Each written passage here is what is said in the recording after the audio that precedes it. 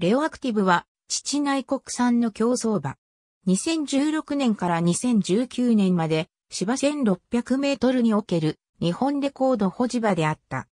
レオの冠名で知られる仙台オーナーの田中優が最後に購入を決め、1歳時には育成センターの火災で何とか難を逃れた本馬は予定通り、美穂トレーニングセンターの杉浦博明厩舎に入厩した。6月、中山のスプリント戦でデビュー。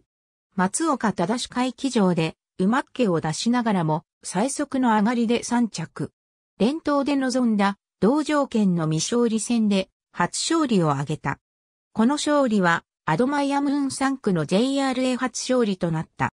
その後、惜しい競馬は続くが勝ちきれず、横山則弘を安城に迎え重賞初挑戦となった慶応杯2歳ステークス。5番人気だったものの、うまく後方待機策がはまり、新潟2歳ステークスを勝ったモンストール他を差し切って重賞初勝利。陣営からの気象や距離不安も囁かれる中、騎手の進言もあり朝日杯フューチュリティステークスに参戦。前走同様、後方待機策で直線で一気に差しに行ったが、早めに抜け出したアルフレードやマイネル・ロブストを差し切ることはできず3着に敗れる上がりは全馬のうちで最速だった。そしてレース後は放牧に出された。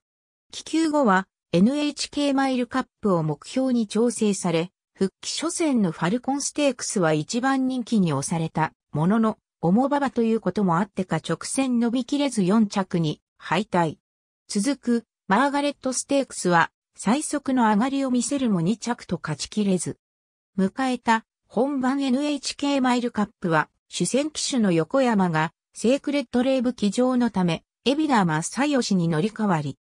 いつも通り後方から進み足を伸ばして2着争いには参加するもののカレンブラックヒルに大きく離された8着に終わる。使い詰めてきたこともあり NHK マイルカップ後は休養に当て、休養明け初戦は新潟の時ステークス。